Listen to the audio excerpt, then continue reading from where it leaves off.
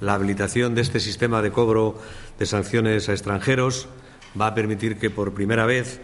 podamos identificar y localizar a los titulares de vehículos extranjeros en sus propios domicilios para notificarles las infracciones y las sanciones correspondientes que han cometido.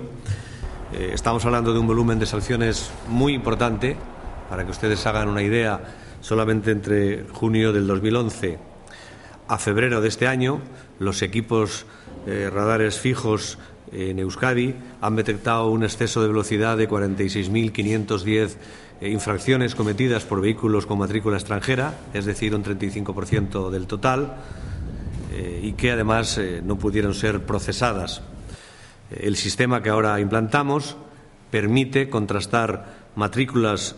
con los registros del resto de países europeos y, por tanto, tramitar la sanción correspondiente a estos conductores de vehículos extranjeros.